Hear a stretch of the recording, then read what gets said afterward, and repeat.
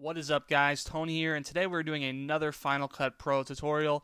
Today we're going to be talking about lens flares. So you guys all know and love them. They're those awesome little, you know, glares from the sun that a lot of people use in their hardcore edits. Some people use it in dubstep and chill edits, but mostly hardcore edits. Uh, it is very difficult to do lens flares in Final Cut because, to be honest, there are no lens flares in Final Cut Pro. The only lens flare you can find in Final Cut Pro is, let me go ahead and get some sort of clip in here. Let's just throw this one in here. Why not?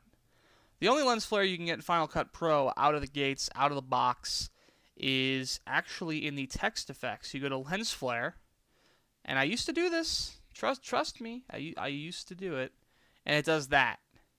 Now you can see the title. What I would do is I'd just get rid of the title, and you know I'm kind of going back old school here, but you know I'd like throw it up in the corner. Whoops. Let me select the actual thing. And for some reason it's glitching. It's not letting me select the text to move. It's making me move the whole thing. But regardless, you get the point. It basically would allow you to have a lens flare on screen, which kind of sucked. I- am going to be honest. That's not what this video is about. One second, let me get back. Okay. That is not what this video is about. We are talking about a FCP effect called Poor Man's Lens Flare. You can buy this on fcpeffects.com or you can get it illegitimately. That's up to you. I personally paid for it, but it's up to you. Uh, so what you do is you go ahead and you bring it into the timeline. So let's find a spot that a lens flare would fit into, like right here. This is perfect. Right as you come around this helicopter. So basically like right here, if I wanted to put a lens flare, right up here. It's really simple. It's really simple. Um, so basically, you just drag it on from the text pane. It's kind of weird that it's text, but it makes it easier to move around. And you can go ahead and put it right there. Now, uh, in the options, you have the ability to make it warmer, which means you get this more, you know, orangey effect, or cooler. So you have a blue effect. Sometimes you want a blue lens flare. I personally like the warmer ones in a situation like this, especially. Uh, you can change the size, which I tend to do a lot because it seems very slim right now, and you can see it really. You can actually see a bit of like almost like a reflection on the sniper, which is really nice. Uh, the intensity can be increased also, which furthermore gives that reflection-ish feel. And it's really starting to look like almost like Far Cry or something. It really looks nice on PC, of course. Anyway, uh, so you can do some streaks, which you have the various options. You can do a lot or little. I usually do a little because it looks more realistic, like right there. Uh, you can do the fall off, which obviously constrains it to the circle or it increases it a lot. Uh, on this one, I'd probably say mid range is good. Uh, the glow fall off is a similar thing. It's just the you know aura of the orange orange effect. Orange, yeah, I'm from New York.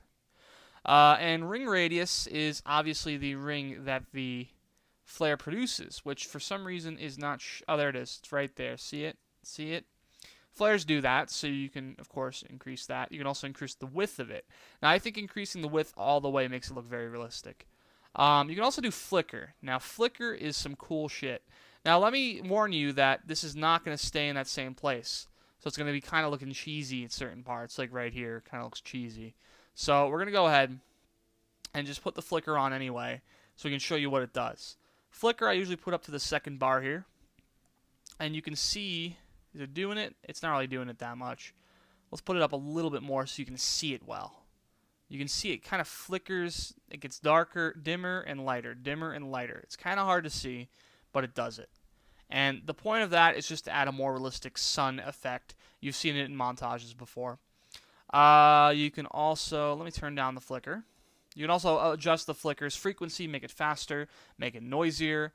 Uh, it's pretty self-explanatory. Uh, the halo opacity is just making the aura around it thicker and hard to see through, or thinner and more opaque, obviously. And you can also add a blur to it, which, you know, is optional. Uh, you can also change the color of the aura. So you can make it green. Now, the intensity on this is not that strong, so it's very difficult to see. And you can also have overlap. I mean, it just goes on striation strength stuff that's very minor. You're not going to really notice it that much unless you're really, really into uh, photogenic editing, which basically means making things look very real, which is the point of this. is to make it look really real. But if you're just a, you know, COD editor, it probably doesn't matter as much to you.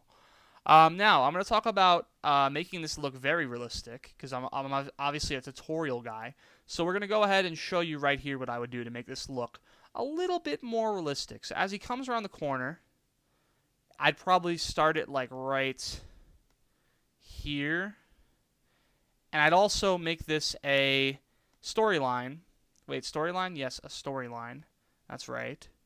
And I would, whoops, I would put a cross dissolve.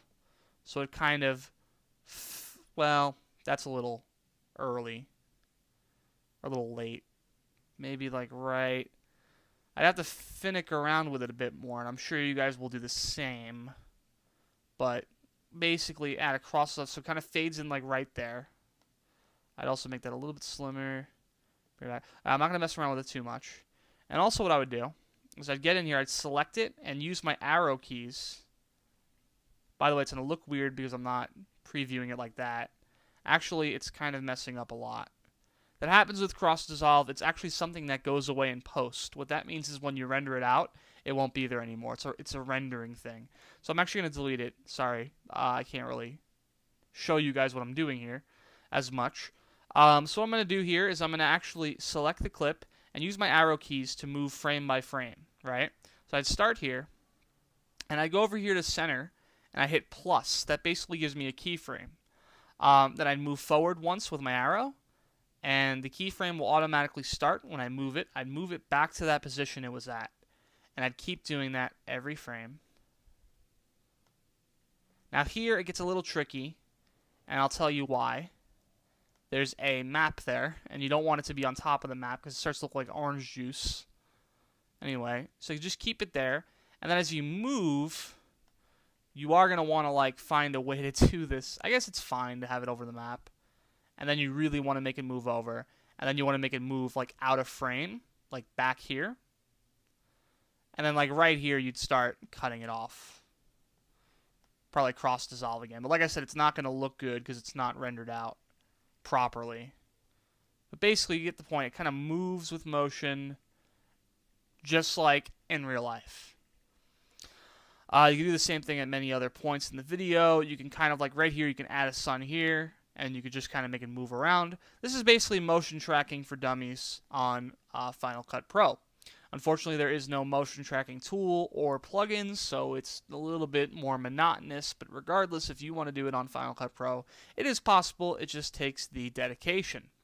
Uh, anyway, that's pretty much it. That's how you do lens flares on Final Cut Pro. There are other lens flare uh, plugins out there, but this is the best one that I've used myself. If you found one that's better, uh, go ahead and suggest it in the uh, comments.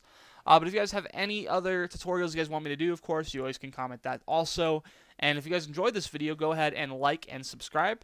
And I'll be doing many more of these videos in the future. That's pretty much it. I am Tony, and I'll see you guys next time.